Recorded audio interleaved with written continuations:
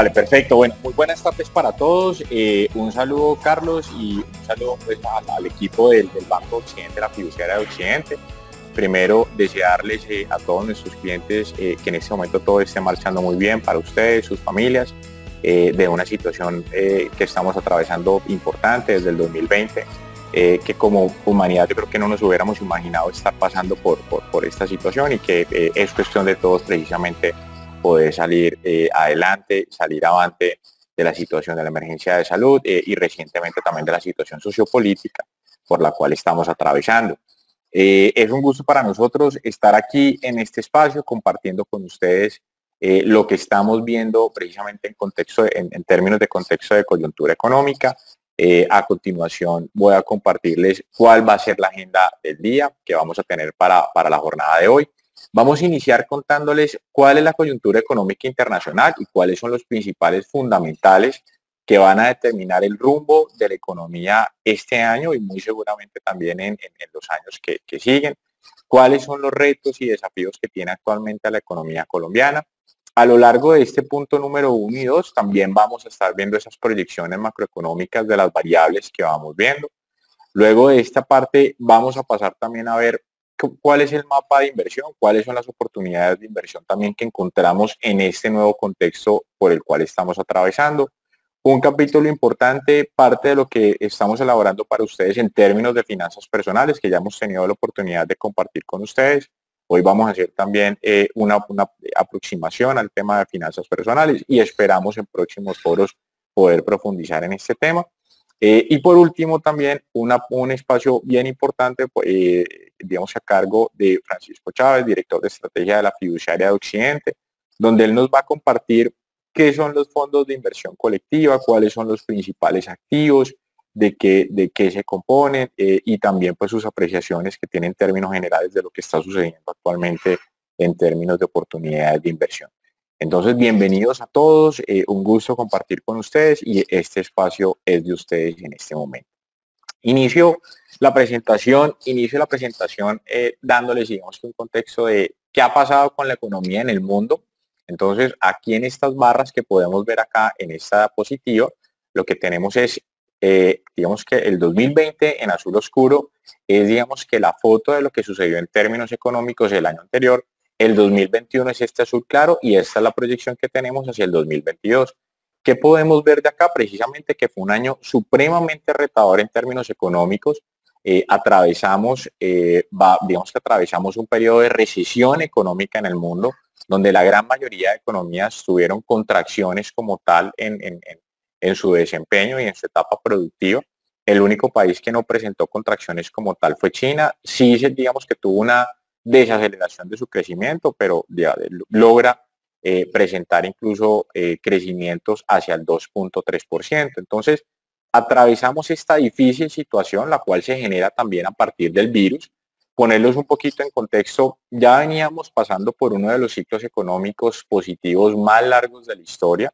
Generalmente la economía tiene ciclos económicos que duran entre 5 o 7 años veníamos de un ciclo económico en Estados Unidos sobre todo de 10 años y es muy importante porque como principal economía en el mundo es un motor y es un jalonador precisamente de esa dinámica económica.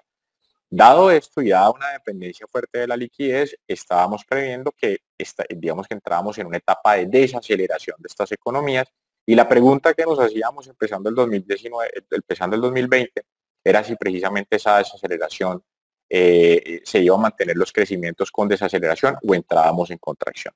Ya viene la etapa del virus. En esta etapa del virus eh, fue un detonante prácticamente para, para esta, digamos que caídas tan fuertes que vimos. No fue, digamos que la razón fundamental, porque ya veníamos, como lo comentamos, en esa etapa de desaceleración, pero sí fue un detonante importantísimo para la contracción y para tener este cuadro que vemos todos acá, que fue el común denominador de lo que pasó en las economías.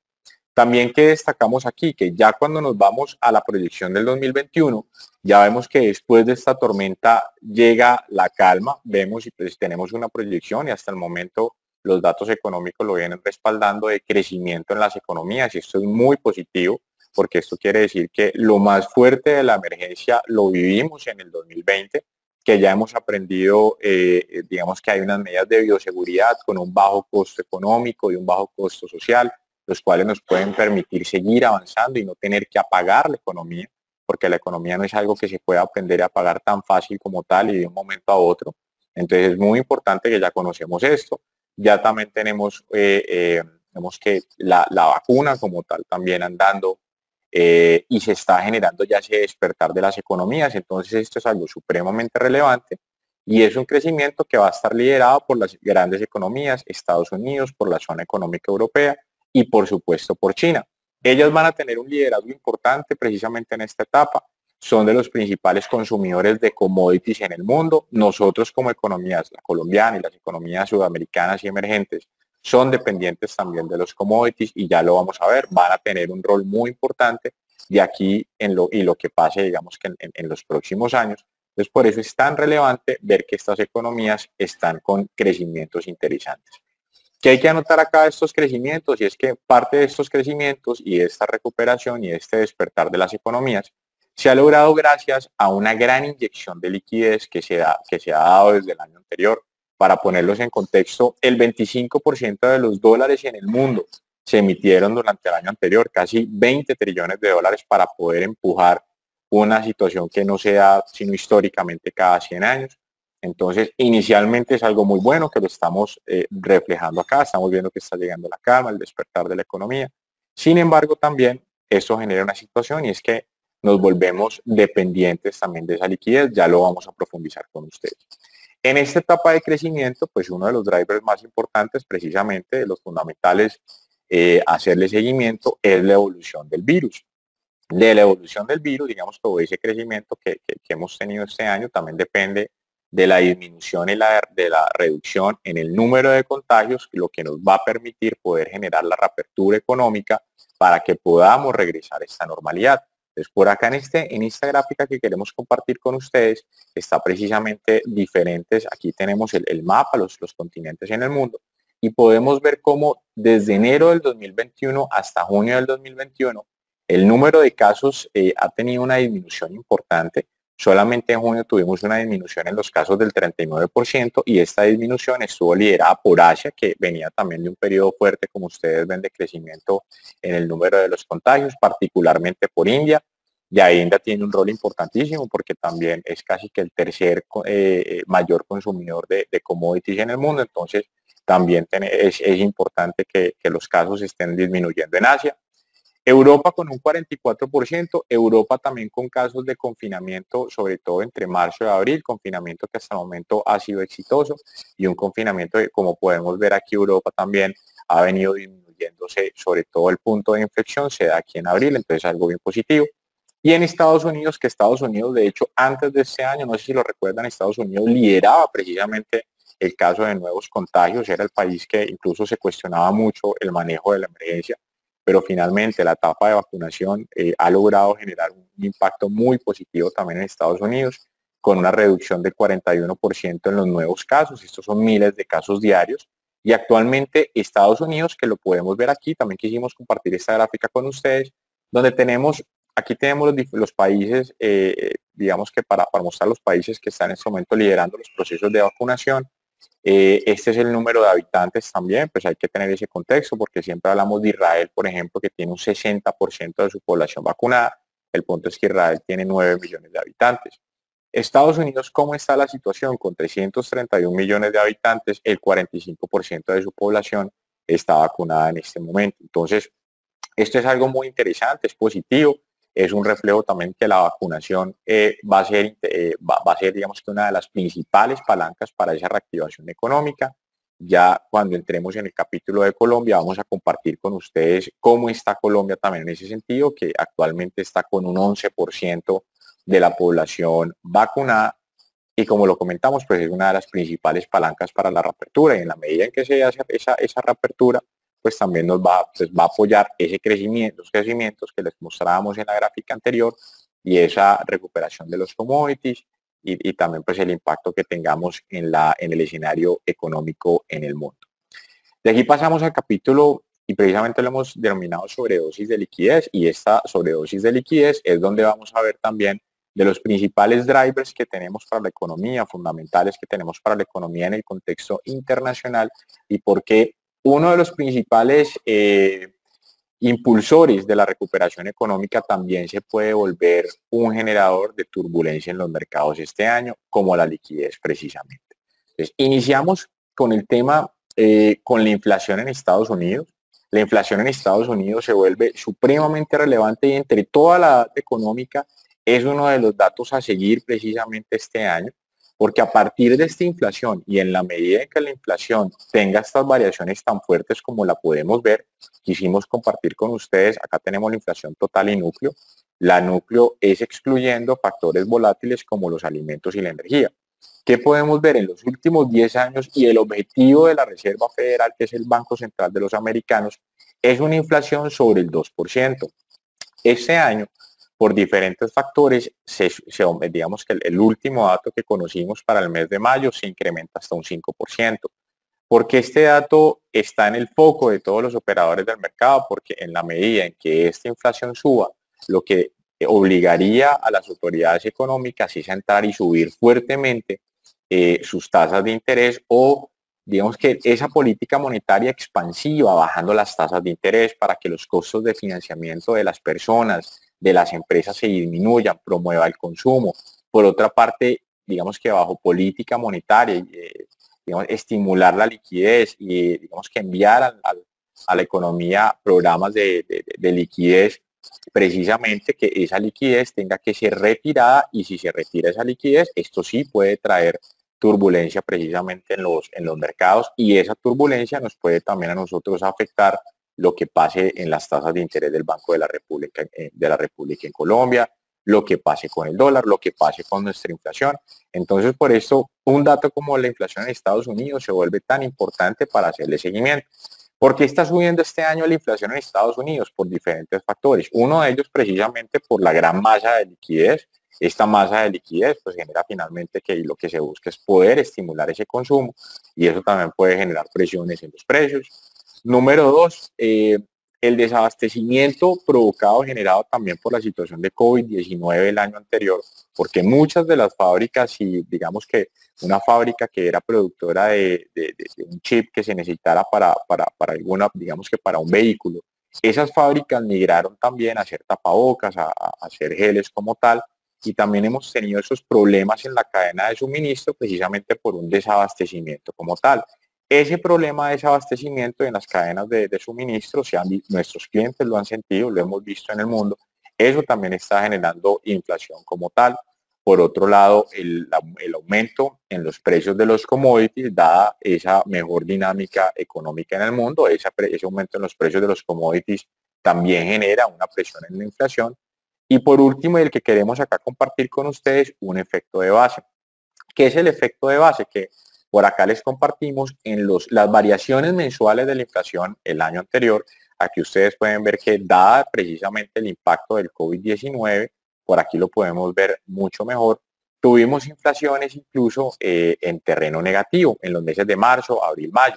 Entonces, ¿qué pasa? De acuerdo a este efecto de base y dadas las variaciones este año, las variaciones se suben de, digamos que en una magnitud supremamente fuerte. Entonces, por ejemplo, en abril la inflación en Estados Unidos fue del 4,20, en mayo ya se acercó al 5% y este es el dato que tenemos acá. ¿Qué está esperando las autoridades económicas? Que la inflación poco a poco y en la medida en que ya este efecto de base no esté en terreno negativo, se vaya normalizando, se vaya suavizando hasta que vuelva y converja, se acerque nuevamente hasta niveles, eh, los niveles objetivos que tiene la Reserva Federal. Como estamos viendo acá, no hay una expectativa que termine sobre el 2%, sin embargo, eh, la Fed tiene una proyección de que esto sea en el, en el mediano largo plazo ese objetivo del 2%. Muy seguramente en los próximos años lo que ellos estaban esperando es que la inflación se pueda normalizar un poco. Entonces, esto por este lado. Y dado prácticamente esta situación es donde los gobernadores de la Reserva Federal eh, digamos que le han enviado un comunicado, un mensaje al mercado diciéndoles que a ellos no les preocupa tanto la inflación, que ellos tienen el foco en la recuperación económica, en la generación de empleo y que dado eso no tendrían que retirar la liquidez, que es lo que está generando, digamos, que nerviosismo en el mercado. Por eso este se vuelve un factor muy importante. Ya en la última reunión que tuvieron la semana anterior, que fue la semana de junio, y les queríamos pues también compartirlo con ustedes, por eso también escogimos este espacio, En ese dato vimos que hubo un cambio en el discurso de la, digamos que en el discurso de la Reserva Federal. En la proyección, en la última proyección en marzo, ellos tuvieron, digamos que una proyección de inflación. Bueno, primero aumentan la proyección de crecimiento del 6.5 al 7%, que es algo favorable. Por otro lado, la inflación PCE, que es una inflación adicional a la que estamos viendo acá, y es una inflación medida a partir del consumo, que es muy importante porque el 70% de la economía americana es consumo, también lo aumentan desde el 2.4 al 3.4%. La tasa de desempleo se mantiene en estos niveles, aunque ellos quieren llegar a niveles como lo vemos acá en el 2022 y en el 2023, a niveles de 3.8 que son niveles prepandemia. Pero por otro lado, y lo más importante es que en términos de tasas de interés, en marzo ellos estaban viendo que hacia el 2023 iban a dejar estabilidad en las tasas que actualmente están al 0.25. ¿Qué cambio vimos el año anterior? Que las tasas pasan del 0.5 al 0.75. Entonces ya vemos que hacia el 2023 la, Reserva Federal está pensando en subir en dos oportunidades las tasas de interés. Ya también su discurso comienza a cambiar ligeramente, o sea, todavía dicen que la inflación es un aspecto coyuntural, no es un aspecto estructural y que quieren precisamente darle foco a la recuperación económica. Sin embargo, ya inician a reconocer un poco que también hay, otros factores que no son solamente efectos de base, que también hay factores de demanda que pueden estar generando presión a la inflación y que posiblemente deba cambiar, deba llegar más rápido de lo esperado ese cambio en política monetaria. Entonces, ese discurso de aquí en adelante y es la explicación por qué debemos darle seguimiento, porque eso es lo que va a generar precisamente esa variación en los mercados que nos puede traer volatilidad y que nos puede también impactar en las variables macroeconómicas en Colombia.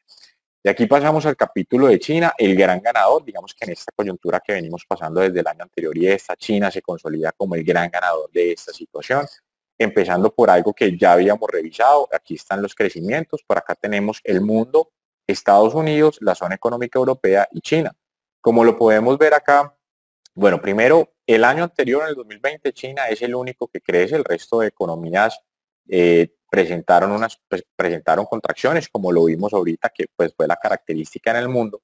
Para este año también China se espera que sea eh, la economía que más crece eh, durante este año y algo que también nos parece importante compartir con ustedes y es antes de la emergencia, China, que lo vemos acá en azul oscuro, se preparaba para ser la economía más grande del mundo hacia los Resulta que aquí tenemos Estados Unidos, que actualmente en 2030 es la economía más grande. Resulta que a partir de la emergencia, esto se adelanta durante cinco años. China, como ustedes lo ven aquí, va a ser la economía más grande del mundo en el 2027. Esto quisimos compartirlo con ustedes porque esto también puede cambiar las decisiones comerciales, las decisiones de inversión, muchas decisiones y hay que prepararnos a que China va a ser un gran protagonista superior a lo que hoy por hoy representa esto es importante tenerlo en cuenta. Y como si ellos vinieran preparándose para esto, ellos también vienen en una dinámica de consumo de commodities importante. Es el primer consumidor de commodities en el mundo. Tiene el 60% del cemento, el níquel, el carbón, el cobre, el petróleo. Entonces, por eso se vuelve un gran jugador. Y esa recuperación económica de China, por eso también hay que verla con muy buenos ojos porque nos va a favorecer el camino de la recuperación y de los commodities, que ya lo vamos a ver aquí en adelante. También hay un dato que seguramente vamos a compartir en el tiempo y es que esto, esta situación también los deja con una posición geopolítica interesante porque se van a presentar mayores brechas entre los países desarrollados y las economías emergentes, como lo veamos ahorita. Y estas brechas nos pueden llevar a que en un futuro China se vuelva incluso financiador de las situaciones que se puedan presentar en nuestras economías emergentes. Eso ya lo hemos visto, por ejemplo, con, el, con nuestro país vecino, donde China es uno de los principales financiadores. O sea que China eh, viene fortalecido incluso pues, económicamente y muy seguramente en el, en el mapa geopolítico también se va a ver muy favorecido por la situación que tenemos actualmente. Precisamente hablando de commodities, pasamos a, mostrarles qué está pasando con los commodities. Los commodities por acá los tenemos una variación supremamente relevante durante este año y aquí los podemos ver en la línea azul clara. La canasta de commodities se llama CRJ podemos ver acá cómo ha tenido un repunte supremamente fuerte desde el 2020. Aquí para resaltar, fíjense cómo en el del 2002 al 2009, incluso hasta el 2011, 11 años casi que de recuperación en los commodities, y si ustedes se acuerdan, tuvimos 10, 11 años del boom energético también en Colombia, tuvimos una etapa de crecimiento supremamente interesante que se, se alargó prácticamente que hasta el 2014 cuando ya se caen los precios del petróleo definitivamente. Por otro lado, estas son nuestras monedas latinoamericanas acá medidas a través del LASI y lo que podemos ver es que cuando caen los commodities, caen las monedas latinoamericanas, se dan procesos de devaluación porque sufren nuestras economías. Es que podemos ver acá los commodities después de casi que, bueno, veámoslo aquí desde el 2011, después de 10 años, ya están presentando un rebote importante. Fundamentalmente, ¿qué hay detrás? La recuperación de las economías, la recuperación y la demanda de China, que lo acabamos de ver acá. ¿Y por qué esto hay que ponerle foco y tenemos que discutirlo con ustedes? Porque eh, de esta recuperación estamos viendo, digamos que un viento favorable en términos económicos desde el 2022 hasta el 2025 aproximadamente en esta recuperación de commodities. Eh, o sea que esto va a ser, digamos que, muy positivo para la región, incluso hasta para el tipo de cambio, porque como lo podemos ver acá, como lo podemos ver aquí, eh, el tipo de cambio de las monedas de la región debería estar nuevamente tratando de subir, o sea, fortalecerse o apreciarse las monedas frente al dólar. Eso quiere decir que muy seguramente tengamos monedas finalizando este año. 2022 es un año preelectoral, o sea que de pronto ahí tengamos algo de tensión, pero sí desde el 2022 al 2025 también una etapa de cambio de tendencia del dólar que también pues eh, eh, digamos que todos tenemos que tratar de estar alineados ahí y aprovechar esos momentos de mercado. De aquí pasamos al precio del petróleo. Queríamos destacar con ustedes, por acá tenemos en azul oscuro la demanda, en azul claro la oferta. Después de haber tenido este impacto tan fuerte, este choque de oferta y demanda que mandó los precios del petróleo, ustedes los pueden ver aquí, los precios del petróleo en la, en la columna derecha y oferta y demanda en la columna izquierda como tal. Después de haber alcanzado los 20 dólares por barril, un repunte importantísimo, que está generando inflación en el mundo, que está también generando, pues, digamos que nos trae también buena eh, perspectiva económica. Lo que vemos es que gracias a los esfuerzos de la PEC, del OPEC, con recortes importantes en la producción mundial desde abril del año anterior, incluso hoy por hoy tenemos 5.7 millones que ellos han retirado del mercado, la expectativa para este año es que ya la oferta equipare la demanda por esa recuperación económica, ya se ubique aproximadamente sobre los 100 millones de barriles y eso nos deja para nosotros con una expectativa de 67 dólares por barril. Importantísimo, dado que el gobierno en el marco fiscal de mediano plazo, en su reunión de, proyecciones económicas, se puso un presupuesto de 63 dólares por barril. Actualmente el precio del Brent, que es la canasta, digamos que la tasa, el precio de referencia que utiliza Colombia, está sobre los 75. O sea que si el gobierno logra capitalizar ese precio del Brent, que Colombia tiene un precio Brent menos 4 o 5 aproximadamente, pongámosle 70. 70 67 tenemos 7 dólares de diferencia. Cada dólar de diferencia frente a lo proyectado en el marco fiscal son 300 mil millones de pesos para la nación aproximados. O sea que esto nos podría traer entre 2, 3 billones de pesos muy importantes en un momento donde estamos necesitando recursos para, para el país y aquí, digamos que el, precio del petróleo, en, en la época de bonanza petrolera, ha representado casi el 1% del PIB, en los últimos años fue el 0.6%. Este año, por el choque precisamente al que, el que atravesamos el año anterior, este año prácticamente que no contamos, no vamos a contar con unos ingresos tan fuertes y se espera que el otro año pueda representar el 0.6 del PIB más lo que se pueda lograr adicional por ese aumento del precio del petróleo, como les cuento que donde el gobierno está en 63 nosotros tenemos una expectativa de corrección hacia los 67, entre 67 y 70 dólares por barril. Por eso es tan importante poder aprovechar esos precios en los que estamos actualmente, muy cercanos a los 80, donde vemos que aquí deberíamos ubicarnos lo que son los precios que se alcanzaron en el 2019, incluso 2018. Esto debería ser la zona donde deberíamos encontrar un techo también en este movimiento tan importante que ha tenido el precio del petróleo.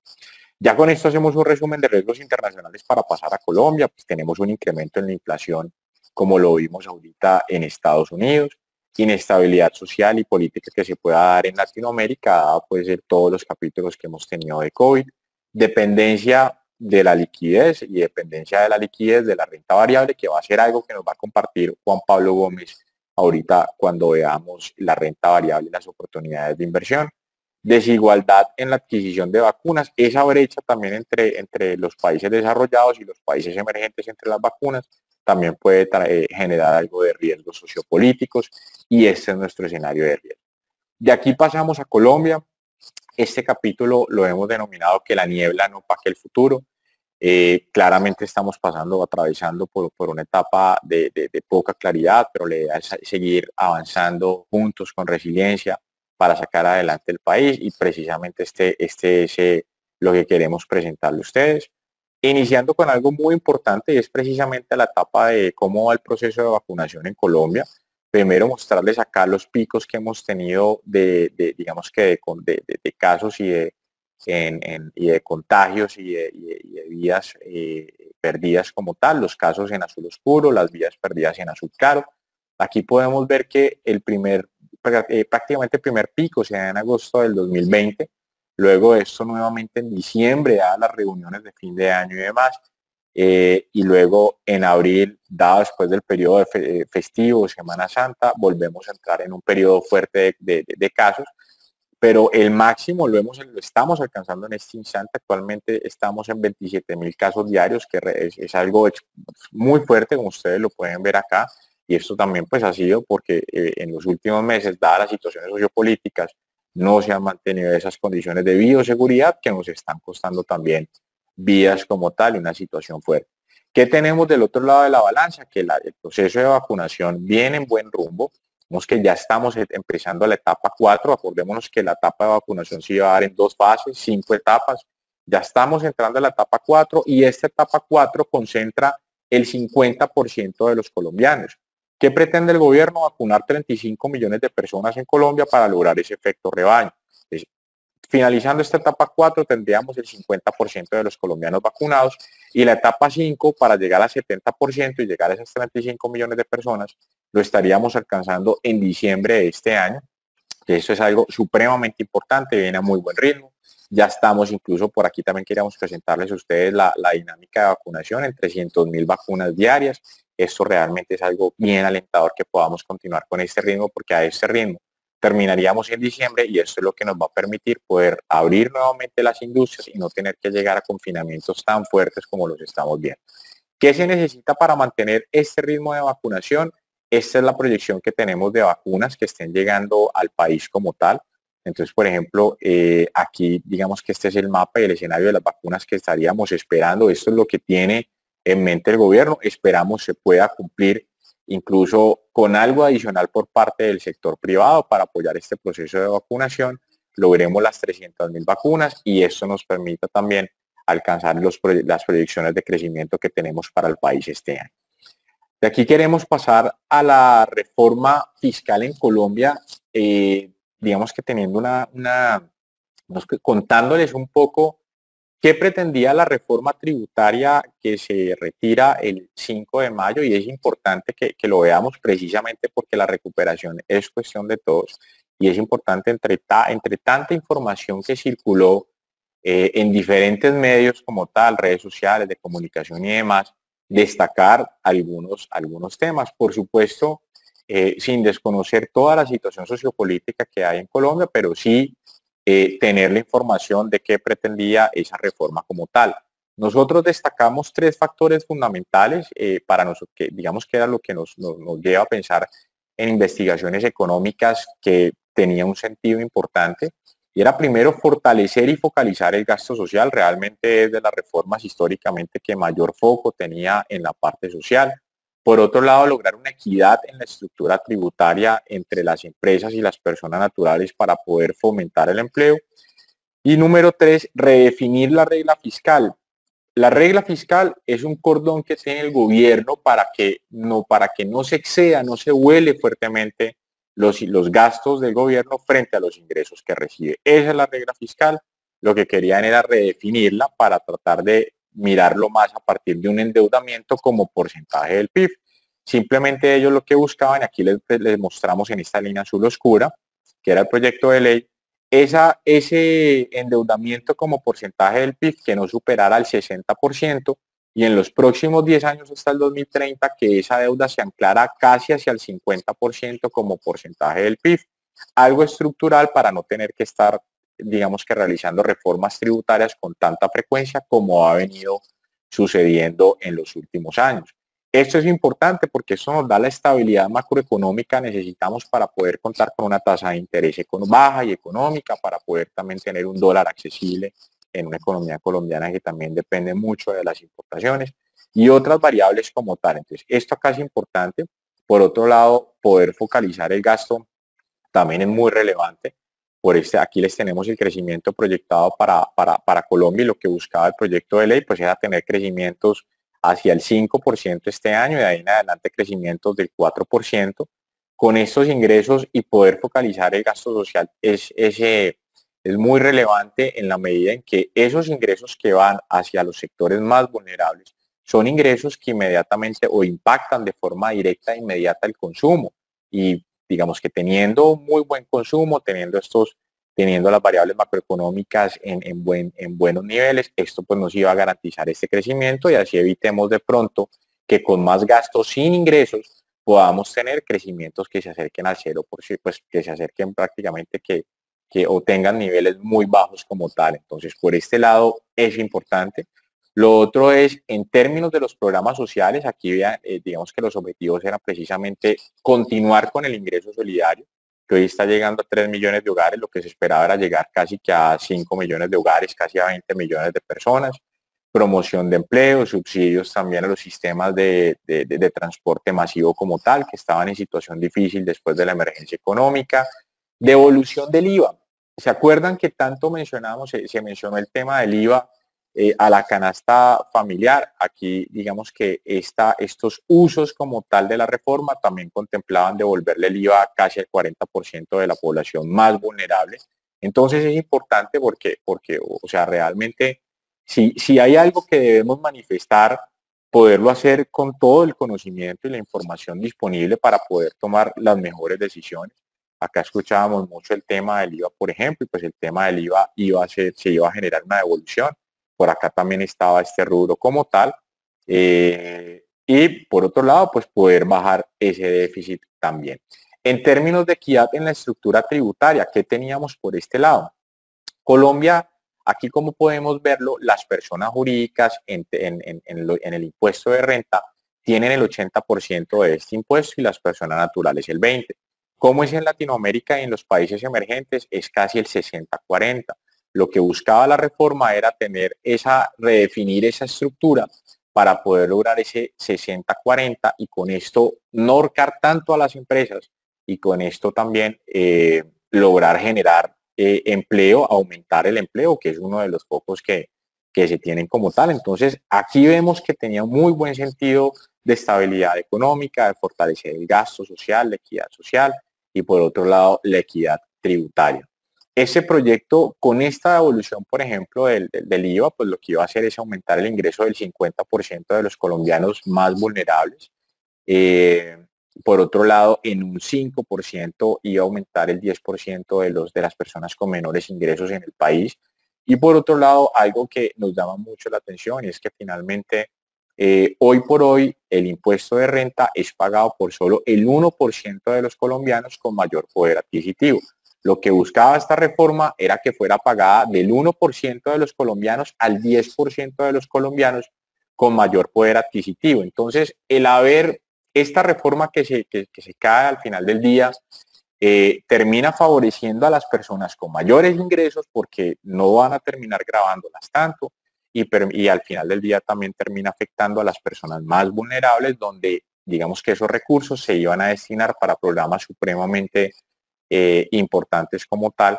Entonces, es lo que tenemos que eh, también tener en cuenta, digamos, del, foco y de lo que buscaba. Por supuesto, con bastantes oportunidades y retos de, mejora como tal, pero retos que esperábamos lograran ser eh, aprobados en el Congreso, que pues, lograran pasar en el Congreso como tal, después de un debate, de unas discusiones. Puntualmente les contamos en, ese, en ese 10% de las personas que podían pagar, por ejemplo, impuesto de renta había unos aceleradores fuertes que también nos parecía, no estábamos de acuerdo con eso, y adicional esos aceleradores, pues iban a pegarle directamente al consumo. Entonces, ahí había un punto de mejora muy importante y por otro lado también en poder eh, tener austeridad en algunos gastos, pero ese es un tema que debe darse precisamente en el Congreso. Lo que nosotros queremos revisar precisamente es el foco que tenía esta reforma. De aquí pasamos a contarles el marco fiscal de mediano plazo. Esta es la reunión de proyecciones del gobierno, se dio la semana anterior. Destacamos que este marco fiscal mantiene parte de este foco que buscaba eh, del foco, digamos que más importante que identificamos en la reforma anterior, y era lograr mantener precisamente los programas sociales y que esté dentro del, dentro del plan del gobierno. Es muy importante para nosotros como colombianos y es muy importante también para el tema del crecimiento económico y reducción de la pobreza extrema, que como dimos cuenta en el 2020, sube 10 puntos porcentuales, casi un 43% de los colombianos. Por otro lado, también tiene este objetivo de sostenibilidad fiscal y de recuperación económica. ¿Qué tienen en mente este marco fiscal de mediano plazo? Esperan un crecimiento del 6% en, en, el 2021, que es algo positivo, suben del 4 al 6%.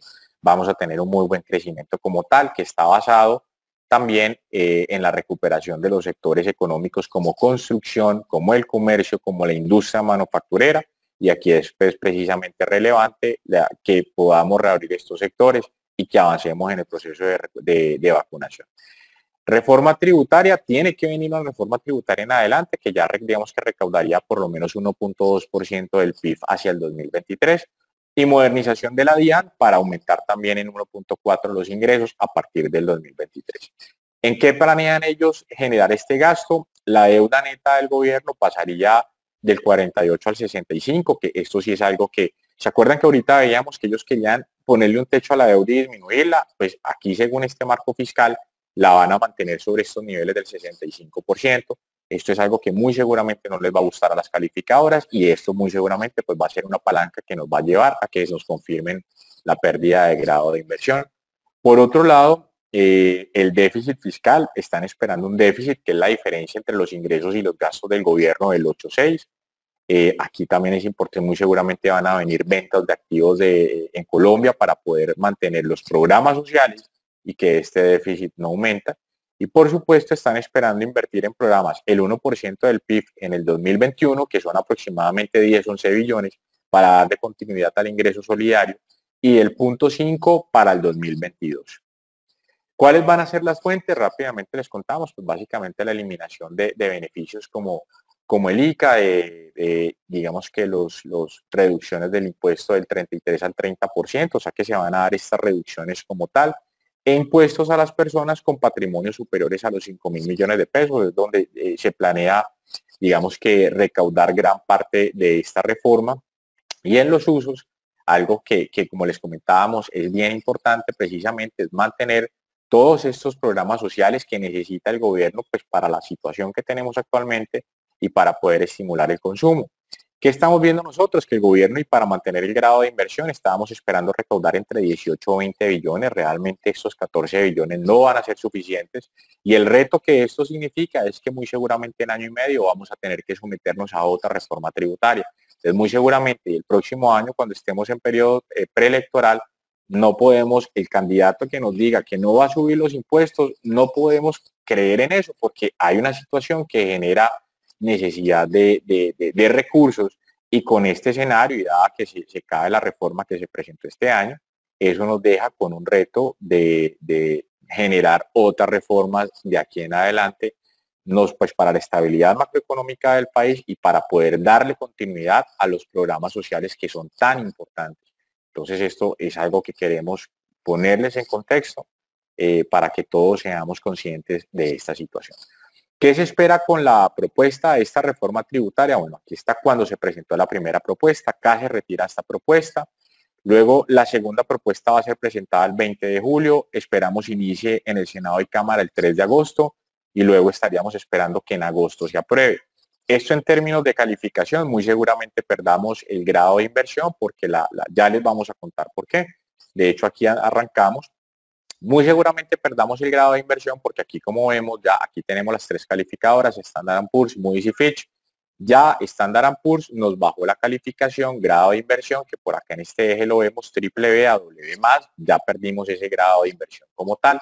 Y si dos calificadoras de tres nos, nos quitan el grado de inversión, ya Colombia como país eh, pierde el, grado de inversión. ¿Quién está aquí cerquita? Está Fitch y muy seguramente ya ellos se pronunciaron, dijeron que en julio iban a revisar eh, la calificación de Colombia. Entonces no va a alcanzar a pasar la reforma tributaria cuando ellos tomen la decisión. Y por otro lado, de acuerdo a lo que vimos en el marco fiscal, ya Colombia tiene una deuda al 60% como porcentaje del PIB. Esto muy seguramente no se va a hablar como se está esperando. ¿Por qué nos quitan la calificación? Porque el ajuste fiscal, que son los ingresos que necesita el gobierno, van a demorarse más como lo estamos viendo. Se cae el proyecto de ley, la deuda cercana a 60 como lo vemos acá. Y algo bien importante que es el principal reto que tenemos ahora en este momento en Colombia, volver a recuperar, eh, la, digamos que recuperar nuevamente la, economía, eh, que la institucionalidad vuelva y que podamos demostrar que podemos como país sacar el tema adelante y que podemos responder por nuestras deudas y por nuestras obligaciones. Eh, de aquí ya vamos, digamos que cerrando con las proyecciones, queríamos compartir con ustedes que ese 6% de crecimiento que está esperando el gobierno, del cual nosotros también tenemos ese número y compartimos ese número, hay un factor importante que estamos viendo y que nos genera ese optimismo y es el indicador de seguimiento de la economía, que es un muy buen predictor del PIB. Fíjense cómo viene rebotando, tiene un rezago, muy seguramente vamos a ver una caída en el mes de abril, en el mes de mayo por el tema de las, de las manifestaciones, pero viene reaccionando con muy buena, viene con una muy buena dinámica Indicadores de movilidad que también los vemos reaccionando con una muy buena dinámica. Estos indicadores pues tienen la actividad en estos rubros que ustedes ven acá y también vienen con una muy buena tendencia después de que se cayeron a los mínimos en abril del 20 en etapa de pandemia. Y el consumo de energía que también lo podemos ver aquí viene recuperándose. Esto quiere decir que la industria, primero los indicadores de movilidad vienen eh, andando, caminando muy bien, el indicador de seguimiento de la economía y la demanda de energía, lo que quiere decir que hay apertura como tal del sector productivo. Esto nos lleva a ver un crecimiento del 6 en línea con lo que está el gobierno. Trimestralmente este 15.3 sería el segundo trimestre por un efecto de base, que ya discutimos lo que es el efecto de base, un 15.3, 5.8 en el tercer, trimestre y 3.4 en el tercer trimestre. Incluso eh, y ojalá nos equivoquemos si esto sea superior porque nos puede dar una sorpresa en diciembre con un proceso de vacunación avanzado, muy seguramente llegando a niveles superiores como tal. En términos de inflación, estamos viendo una inflación que sí se está saliendo del rango meta del Banco de la República. El rango meta está entre el 2 y el 4%, ya como lo vemos aquí estaría el 4.22, sobre todo, y aquí también queríamos mostrarles a ustedes ese dato, Conocimos hasta el mes de mayo una variación del 1%, lo que nos llevó la inflación al 3%. Para junio estaríamos en 3,98 con una variación esperada del punto 29. En julio tendríamos una corrección de los alimentos que crecieron el 5% en mayo por los bloqueos. De aquí en adelante les traímos, o sea, digamos que lo calculamos con una estimación desde el 2017 al 2019. Si acá tenemos una variación muy parecida a la que tuvimos este año, esto nos llevaría a cerrar con una inflación del 4.22 con un riesgo al alza porque si se presentan más bloqueos va a tener un impacto en los alimentos y este impacto en los alimentos nos puede generar también que tengamos estos escenarios que tenemos acá. Este escenario de inflación llevaría a que las tasas de interés del Banco de la República este año cierren cercanas al 2.50 y el otro año muy seguramente busquen el 3.50 todavía a niveles eh, medianamente expansivos que muy seguramente nos van a apoyar también para la dinámica de consumo. En términos de dólar, y con esto estamos cerrando la parte económica, compartir con ustedes cómo a partir del dólar podemos ver esas variables económicas externas e internas que nos impactan. Aquí arrancamos el año con un optimismo desbordado, incluso con un dólar de 3.400. Poco a poco los retos de la distribución de las vacunas y las tensiones por la, digamos que por la subida de la inflación en Estados Unidos y por el cambio en política monetaria, nos llevó hasta 3.725 en marzo de este año fue el primer movimiento fuerte que tuvimos. Luego de esto, la situación sociopolítica nos lleva hasta 3.875. Poco a poco, eh, digamos que la calma en los mercados por el tema de inflación en Estados Unidos y la recuperación en el precio del petróleo tan importante para nosotros también nos da esta tranquilidad y nos lleva casi que hasta 3.570. Ese es el nivel que deberíamos estar en ausencia de la situación sociopolítica actual y si no tuviéramos el ruido también de la inflación en Estados Unidos, niveles de 3,480, 3,500. Sin embargo, pues nuevamente, eh, y en la reunión de la fecha acuerdan que ahorita les contamos que ellos pasan de una expectativa de un incremento en el 2023 a dos incrementos, que la inflación se fue hasta el 5%. Eso inmediatamente nos generó una presión nuevamente arriba, en, digamos que en el, en el dólar. ¿Qué estamos esperando? Si seguramente como si perdemos el grado de inversión como lo hablábamos, nos puede mandar nuevamente el dólar a niveles de 3.800, 3.850 y poco a poco en la medida en que vamos teniendo la reapertura de las economías, que en Estados Unidos vaya descendiendo la inflación el dólar también termine cediendo y veamos un cierre muy cercano a los 3.630. Eso es lo que estamos esperando en términos de dólar. Por el lado de TES, eh, no me quiero adelantar, quisiera que Francisco nos contara un poco el, tema ahora. Simplemente contarles que se han desvalorizado los mercados de renta fija en Colombia. Eh, muy seguramente con la pérdida de grado de inversión se desvaloricen otro poco, pero estamos ya muy cerca de encontrar el máximo de esas desvalorizaciones y más porque nosotros y Colombia viene negociándose, eh, digamos, o preparándose, los activos vienen, digamos que muy cerca a no tener grado de inversión, o sea que no esperamos tener un impacto tan fuerte en este sentido. Con esto pasamos a los riesgos de Colombia, la reforma fiscal, enajenación de activos, reducción de la calificación de, de deuda, el aumento del gasto que hay que mantenerlo por emergencia económica, y el incremento de la deuda como porcentaje del PIB, esos son los riesgos que, tenemos. Y los más importantes, eh, términos de desempleo, lograr recuperar el empleo también y la, generación de empleo, el riesgo que tenemos del aumento de la pobreza y pobreza extrema y el inicio de las campañas electorales en el 2022. Esto es algo supremamente importante de hacerle seguimiento y los riesgos sociopolíticos que podamos tener de aquí en adelante. El resumen de esto es que la recuperación finalmente es cuestión de todos, porque digamos que vemos una situación sociopolítica importante. Yo creo que desde casa inicia el tema, desde que seamos eh, incluyentes, eh, eh, digamos que aceptemos y valoremos, digamos que las diferencias que tenemos como colombianos, que seamos incluyentes con todos los colombianos. eso por un lado, por otro lado, que también conozcamos cuáles son los retos de ingresos que tenemos como país y cuáles son las cuentas y tengamos la información correcta antes de tomar las decisiones como tal. En términos de la emergencia, es importante que apoyemos ese proceso de vacunación que tiene una buena expectativa, que lo apoyemos respetando las medidas de bioseguridad, no lo dejemos toda la etapa de vacunación. Es la forma en la que podemos regresar nuevamente a la actividad como tal. Por otro lado, que apoyemos la industria, que apoyemos el comercio, eh, recreación, turismo, que son sectores que generan muchos empleos y son sectores que han estado supremamente golpeados por la emergencia. Claramente proporcional y siendo conservadores con los gastos, eh, pero me llama la atención que en muchos foros de finanzas personales lo primero que te recomiendan es, eh, digamos que guardarte en temas de gastos. Es cierto, hay que tener un plan eh, importante de gastos, pero también hay que apoyar la economía porque si conservas todo para ti y la economía se, desequilibra, pues finalmente vamos a terminar con una situación sociopolítica también como la que estamos viendo por pérdida de empleo y por más gente en situación de pobreza y pobreza extrema.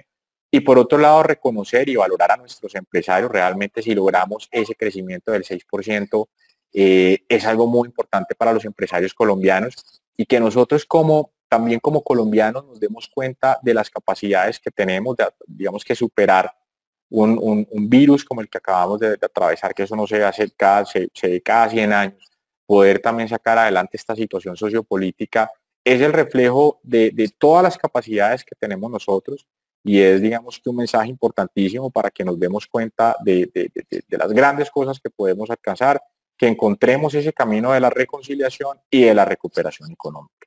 Aquí quisiera darle paso, Juanpa, te quisiera dar eh, espacio para que nos cuentes ya después de este contexto económico, con esta situación económica, política también, ¿qué estamos viendo? Eh, ¿Cuál es el mapa de inversión en el mundo? Entonces, pues adelante, Juanpa, con, con, el tema. Vale, perfecto Luis, pues digamos que, antes de, empezar con todas las regiones y, y, todo el panorama de oportunidades de inversión, quisiera empezar por el mercado de renta fija. El mercado de renta fija, especialmente en los títulos soberanos de los mercados desarrollados, no nos está ofreciendo rentabilidades atractivas. Realmente, ¿por qué está pasando esto? Principalmente por lo que tú nos comentabas al inicio, las políticas monetarias expansivas que llevaron a recortar las tasas de interés y, las, las, los bancos centrales de las principales economías con tasas cercanas al 0%. Y por otro lado, por la versión al riesgo que se, que se presentó iniciando la, coyuntura a finales de 2019-2020, vimos una demanda bastante fuerte de estos títulos y esta demanda lo que hace es simplemente incrementar el precio y reducir la rentabilidad esperada al vencimiento. Aquí pues precisamente queríamos traer como ejemplo la renta fija de títulos soberanos en, el mercado europeo, los cuales tienen rentabilidades negativas tanto en el corto, mediano y en el largo plazo. ¿Esto qué quiere decir? Que mi inversión al vencimiento va, o, el capital que voy a recibir al finalizar mi inversión va a ser mucho menor del que recibí inicialmente, esto del, del que invertí inicialmente, esto sin siquiera sin tener en cuenta la inflación. En el mercado de renta fija de Estados Unidos y ahorita pues continuamos con Europa, la, la panorámica no es nada diferente. Digamos que no tenemos rentabilidades negativas, en el corto y mediano plazo las rentabilidades no nos superan el 1% y ahí sí ya cuando restamos lo que es la inflación y calculamos la, la tasa real, obtenemos una tasa negativa, es decir, que nuestro poder adquisitivo lo estaríamos perdiendo. Entonces, en ese orden de ideas, creo que, que, en renta fija estamos un poco limitados en las oportunidades en mercados desarrollados, pero como ya veremos más adelante, las oportunidades grandes las veremos en mercados emergentes, en emisores locales que, que, realicen emisiones en moneda extranjera y también pues ese sí ya un poco más centrado en, el corto y mediano plazo porque ya los, los títulos de más largo plazo van a estar influenciados por los movimientos o políticas monetarias eh, de, las economías avanzadas. Entonces, en ese orden de ideas, este espacio lo vamos a enfocar un poco más en lo que es la renta variable. Y vemos cómo el, o, todos vimos cómo fue el 2020, fue un año bastante retador para todo el mercado accionario y, er, Europa no fue la excepción. Vemos todos los índices eh, cerrando negativo en el 2020, a excepción de Alemania, que logró un repunte, pero solo hasta el, el tercer, cuarto trimestre del 2020 y logró cerrar positivo. Y ya, pues esto se debió principalmente a, lo que nos comentaba Luis Fernando, de pronto los retos que tuvieron para, manejar la, la, pandemia. Tuvieron eh, restricciones bastante fuertes, unos confinamientos demasiado estrictos en diferentes periodos para evitar la ola de propagación del COVID, eh, digamos que, que, disminuir el número de fallecidos diarios por, por, la pandemia, pero ya el panorama para este año, para este segundo semestre y para, para el 2022 nos cambia drásticamente, empezando digamos también con, con Reino Unido liderando todo lo que es el proceso de vacunación, ya la reapertura económica de, de, Alemania, de, España, de Francia, de todas estas economías, también nos va a ayudar a que estos índices accionarios repunten. Esto, esto digamos que también, como lo podemos ver en la siguiente gráfica que ya mostramos lo que son los PMIs, que son los indicadores líderes que en otros espacios los hemos mostrado, nos dan señales claras o ya están por encima, por lo menos del nivel de expansión, ya están incluso por encima de los niveles de pandemia que, que veníamos acostumbrados incluso a no superar niveles del 55 y ya en los últimos resultados que tenemos tanto en PMI servicios, PMI manufacturero, vemos un PMI manufacturero en el 63,1, servicios que es muy importante digamos en la economía francesa en el, en el 58 y un PMI compuesto para la eurozona del 59,2. Estos PMI o estos indicadores, ¿qué señales nos dan o por qué son tan importantes? No solo porque estén en los niveles de expansión, sino porque nos van a ayudar o nos dan una señal clara de los niveles de producción, de las órdenes de pedido que están recibiendo, de los inventarios y en este orden de ideas, pues las utilidades o las ventas que tengan las, las empresas corporativas en esta región se van a ver incrementadas. Entonces, en este orden de ideas para segundo semestre 2021 y, 2022, el consenso incluso del mercado es que las rentabilidades de este mercado accionario estén entre un 7 y un 10% en los sectores que les mostramos ahí en la, en la, parte inferior izquierda, en el sector aeronáutico, automotriz, turismo y en el financiero, ya los sectores que digamos se vieron fuertemente influenciados por la pandemia o que tuvieron o que tuvieron un buen comportamiento el año pasado, como el sector salud, comunicaciones y, tecnología, van a tener un, crecimiento un poco más moderado. Entonces, pues el mercado europeo va a seguir siendo una buena oportunidad para de pronto tener diversificación en el portafolio y, tener inversiones en el extranjero. Ya pues cuando continuamos con economías desarrolladas, pasamos a lo que es el mercado estadounidense, donde todos hemos visto estos repuntes eh, increíblemente fuertes en todos los índices accionarios, liderado principalmente por lo que ha sido el Nasdaq, que, es el que agrupa las empresas tecnológicas y, como lo, lo, comentábamos ahorita, fueron las que lideraron o las que más beneficiadas se vieron por todo el tema de la pandemia. Y cuando hacemos un cálculo aproximado de los últimos 16 meses desde que empezó la pandemia, las rentabilidades en este índice accionario han estado cerca del 25%.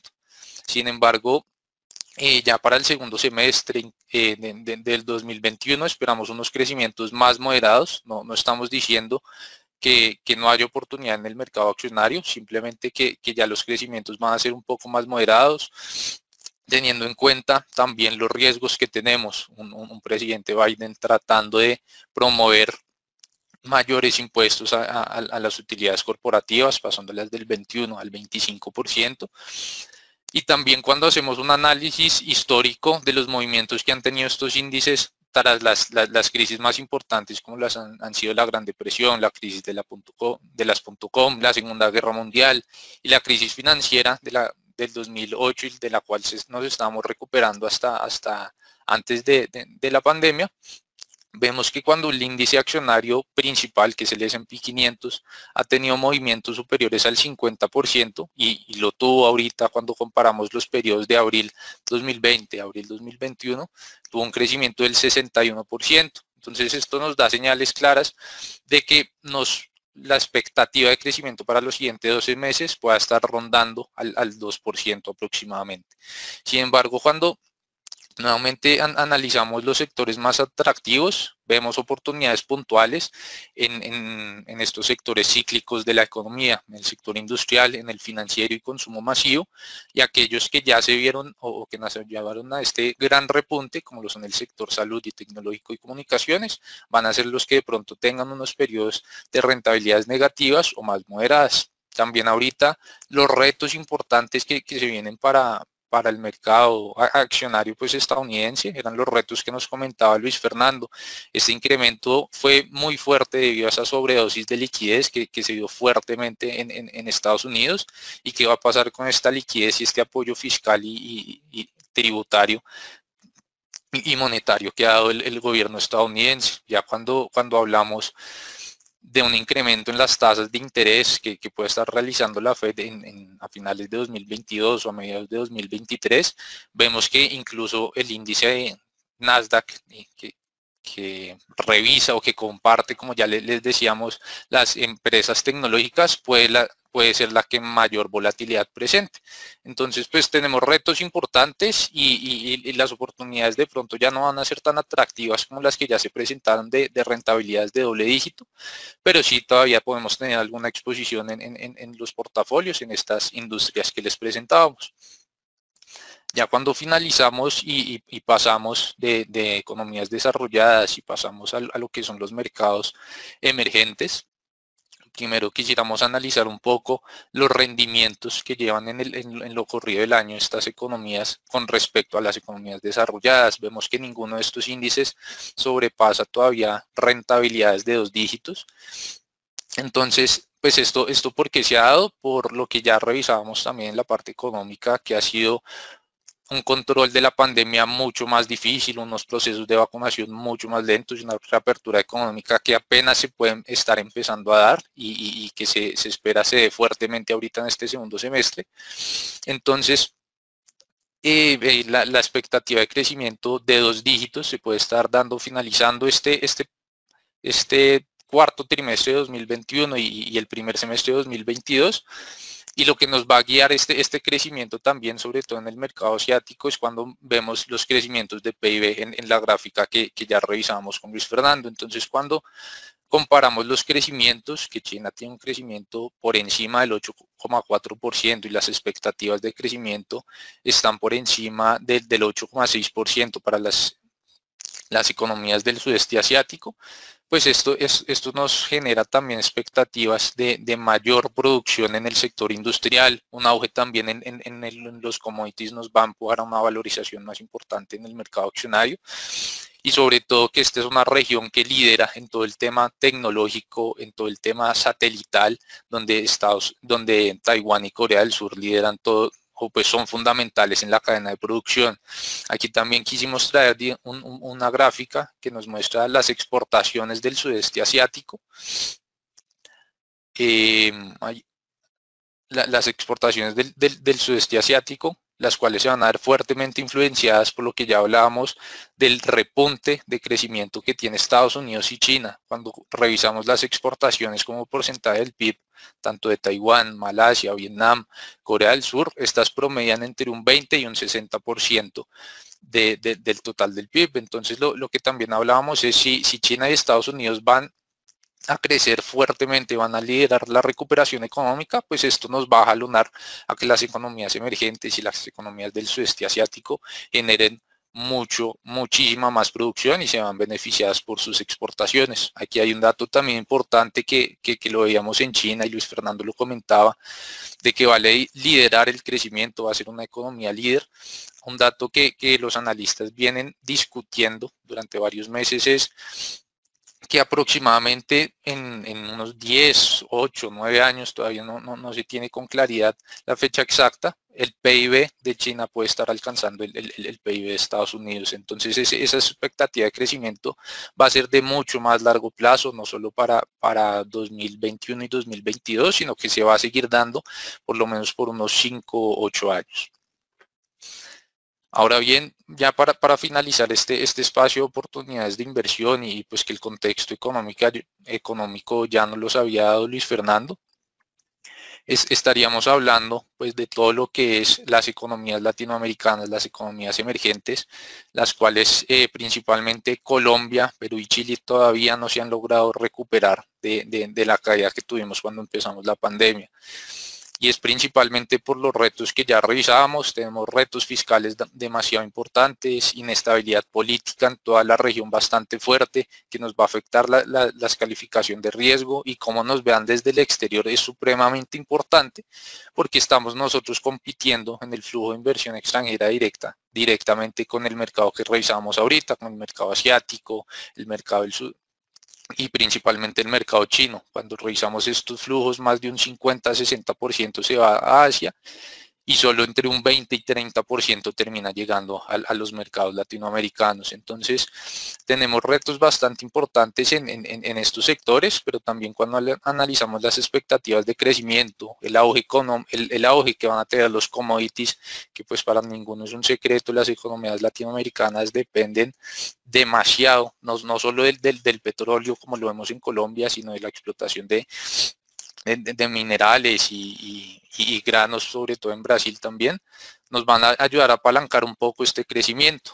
Ahorita también un, dato importante, una discusión que se pueda dar es qué tan importante va a ser los incrementos de tasa de interés por parte de los bancos centrales para poder levantar o poder atraer estos flujos hacia mercados emergentes riesgosos, hacia mercados emergentes con, con calificaciones de riesgo baja, y es algo que ha venido haciendo Brasil, que lleva ya incrementos, tres incrementos consecutivos y ubica su tasa Selic en, 4,25 y vemos como en los últimos meses es la única moneda latinoamericana que ha tenido un fortalecimiento frente al dólar. Entonces la, discusión se va a dar precisamente en qué punto va a ser adecuado o poner en la balanza la recuperación económica con tasas de intervención bajas, que es lo que, lo que ha buscado incluso el Banco República, y hasta qué punto vamos a tener que llegar a incrementar estas tasas de interés para poder que la inversión extranjera directa se mantenga, la extensión incluso también de portafolio se pueda, se pueda mantener. Pero pues más allá ya de los retos eh, y en cuanto a las oportunidades que ofrece la renta variable, pues como bien les decía, sigue habiendo oportunidad em, en, estos mercados, en Colombia principalmente para poder lo menos superar estos, estos niveles pre-pandemia, pero tenemos que, tener un horizonte de inversión, ahorita ya, ya lo revisaremos con Juan Pablo Hernández, eh, un, horizonte de, inversión un poco más largo plazo, tener presente que va a ser una recuperación un poco lenta en este, en este 2021 por los retos políticos que tenemos, pero sí creemos que hay oportunidades bastante importantes y oportunidades de valorización en el sector corporativo colombiano y latinoamericano y pues ahí a la mano izquierda también tenemos los sectores más importantes, commodities, inmobiliario, el sector financiero y el sector de comunicaciones. Y para finalizar y, de pronto pues aprovechar el espacio y darle paso a, Juan Pablo Hernández, aquí también es importante mencionar que, a diferencia de la renta fija de los títulos soberanos de, Estados Unidos, tenemos la renta fija de emisores locales en deuda en, en, moneda extranjera. Esta deuda corporativa sí si presenta unas rentabilidades un poco más atractivas, incluso cercanas al 2%, pero también va a depender un poco del perfil que tenga el cliente, de la industria en la que quiera estar invertido. Y pues ahí ya, ya Juan Pablo nos va a presentar un poco lo que él ve o, la oportunidad y producto que, como tal estamos viendo para tener rentabilidades un poco más atractivas en este mercado. Vale, perfecto. Muchas gracias Juan Pablo. En este espacio conoceremos ya bien, como Juan Pablo lo menciona, dos oportunidades de inversión bastante importantes. La primera, la inversión sintética, que es básicamente un CDT en dólares con una cobertura cambiaria. Ya vamos a profundizar un poco más sobre este tema. Y la otra es un asset swap, que es básicamente lo mismo. Simplemente no lo adquiero con un banco, sino con una empresa, eh, ya sea pública o privada. Para comenzar con el ejercicio, supongamos que vamos a realizar una inversión de 100 mil dólares a un horizonte de tiempo de un año. Esa inversión nos va a dar una rentabilidad del 1.3% efectivo anual. Es decir, si yo hoy realizo una inversión de 100 mil dólares, dentro de un año voy a recoger 100 mil 300 dólares.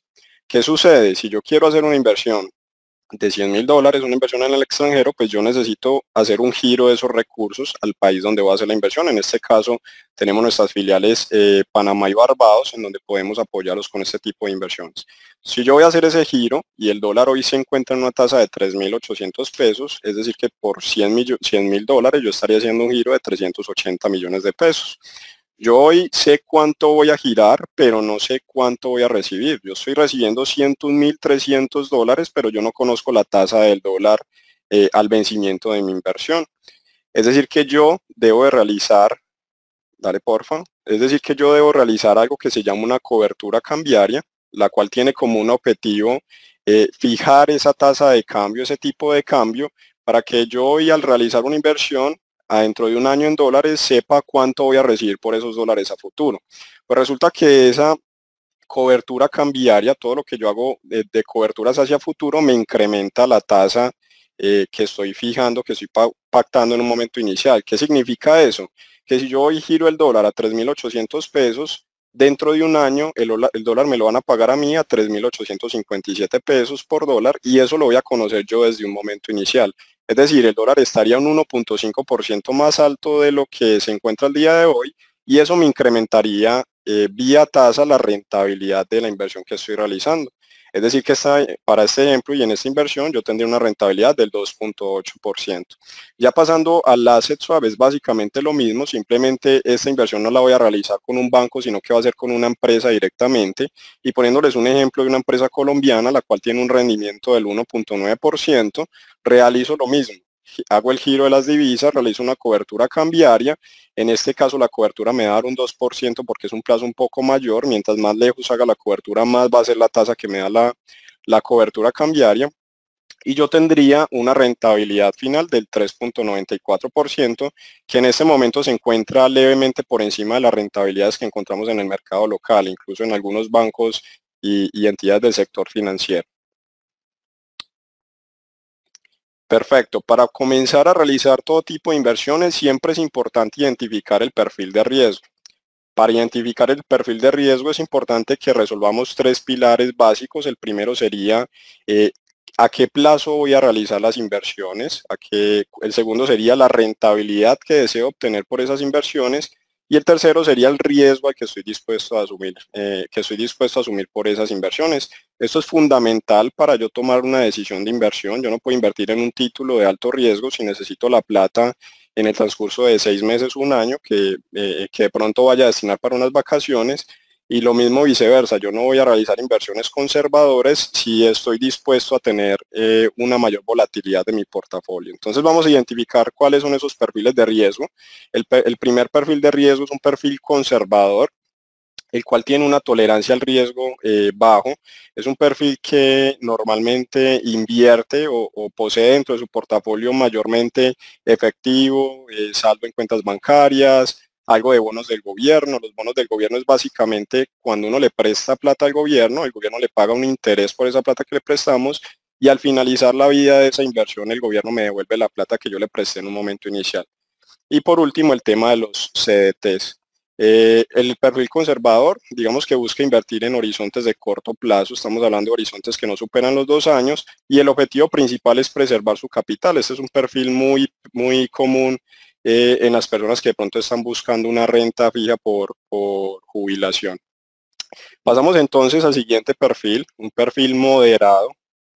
El perfil moderado mm, tiene una tolerancia del riesgo medio, digamos que ya en su portafolio normalmente busca eh, diversificar un poco más hacia bonos corporativos, es decir, ya no le voy a prestar al gobierno, sino que le voy a prestar a empresas privadas. Eh, voy a agregar también algo de acciones, un porcentaje muy pequeño que no me genere mucha volatilidad en mi portafolio y voy a correr un poco mi horizonte de tiempo, ya que voy a realizar inversiones entre 1 y 3 años aproximadamente y como objetivo principal tengo el generar ingresos adicionales con una gestión un poco más activa del portafolio. En el tercer perfil tenemos el perfil arriesgado, este es el tercero y último perfil, Digamos que este perfil es un poco más peculiar, la tolerancia al riesgo es alta, eh, la composición del portafolio ya está más concentrado en acciones, eh, algo de bonos corporativos e inversiones alternativas. Es un perfil que invierte en un horizonte de, largo plazo, es decir, de más de tres años, lo que le da un poco más de espacio en caso de pérdidas, porque digamos que es un perfil que está más orientado a arriesgar su capital. Entonces, en caso de pérdidas va a tener mayor espacio para recuperaciones y generar rentabilidad mucho mayores por encima de lo que está ofreciendo el mercado en su momento.